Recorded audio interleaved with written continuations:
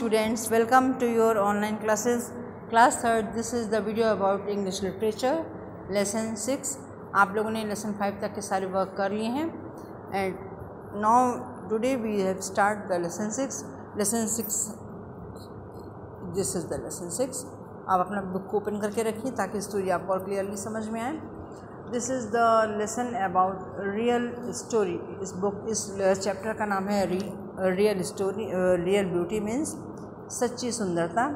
आज आप इसके बारे में पढ़ेंगे what is real beauty real beauty क्या होती है, और इम्पोर्टेंस क्या है। बैड माइंड अच्छा बॉडी जो ब्यूटी होती, जो बॉडी की ब्यूटी है, वो इम्पोर्टेंट होती है या माइंड की ब्यूटी और थर्ड आप इस स्टोरी से समझोगे कि अगर आपको कोई टीज़ करता है, आपके फीचर्स के लिए या आपकी शक्ल मान लीजिए अच्छी नहीं है, आपका रंग अच्छा नहीं है, अगर आपको कोई टीज़ करता है तो आप कैसा फील करते हो।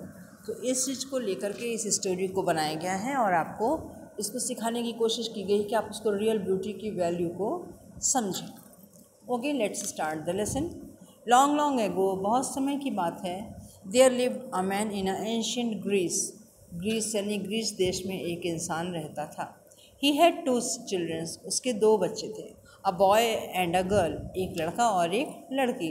The girl was ugly but the boy was handsome and good looking उसके दो बच्चों में जो लड़का था, वो बहुत ही हैंडसम और बहुत सुंदर देखने में था, जबकि जो बेटी थी, वो सुंदर नहीं थी, बदसूरत थी। Both were very different in nature और दोनों का नेचर जैसे इनकी शक्लें अलग अलग थी, वैसे ही इनका नेचर भी दोनों का बहुत अलग था। They had different habits and way to thinking उन दोनों की आदतें अलग अलग तरह की थीं और दोनों के सोचने के तरीके भी बिल्कुल डिफरेंट थे। The girl was kind hearted but the boy was naughty and crude जो बेटी थी, लड़की थी, वो बहुत, क्या थी?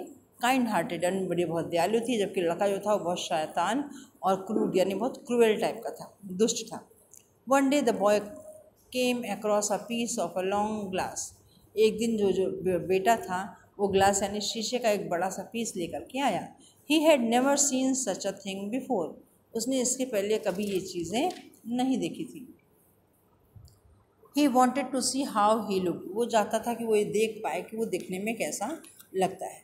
He took the mirror in the hand and saw his face carefully उसने उस चेहरे को, उस शीशे को अपने पास किया और अपने चेहरे को बहुत पास से, बहुत ध्यान से केयरफुली देखने लगा। लुक सिस्टर उसने कहा, देखो बहन हाउ हैंडसम कितना हैंडसम आया मैं कितना स्मार्ट लगता हूँ। I am far better than you और मैं तुमसे कहीं ज़्यादा सुंदर और अच्छा हूँ।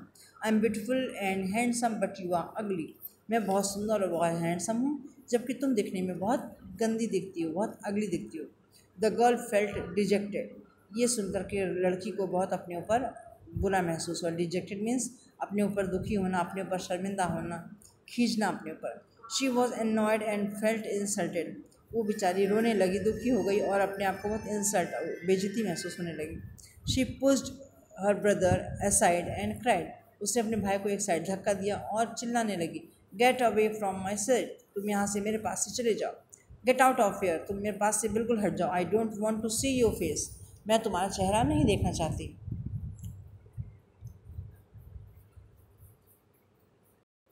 पेज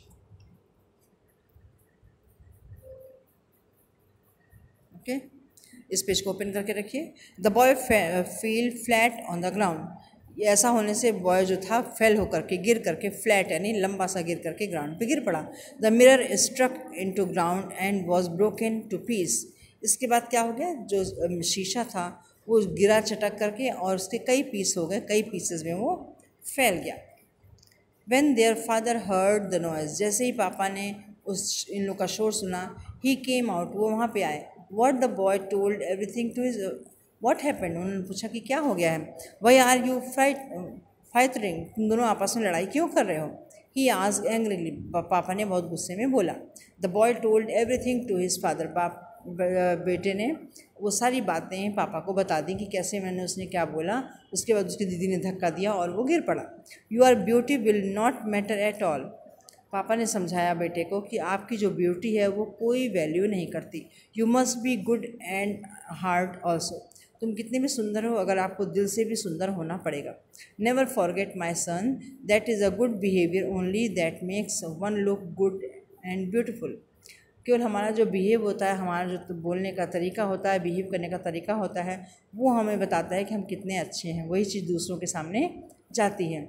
क्योंकि ये चीज़ हार्ट ऑफ़ अ पर्सन ये किसी दूसरे के दिल पे सीधे असर करती हैं and not in only one's face केवल जो चेहरा देखा जाता है, वो नहीं याद रखता, लोगों का बिहेव लोगों को याद रहता है। सेट द फादर ये बात पापा ने बोली। The boy understood what his father had said अब बेटे को समझ में आ गया था, उसके पापा उसे क्या समझाना चाहते हैं? तो आज की स्टोरी सिर्फ़ इतनी ही नेक्स्ट का पेज और जो भी एक्सरसाइजेस हैं, वो नेक्स्ट वीडियो में करवा दिया जाएगा। Okay till then take care and goodbye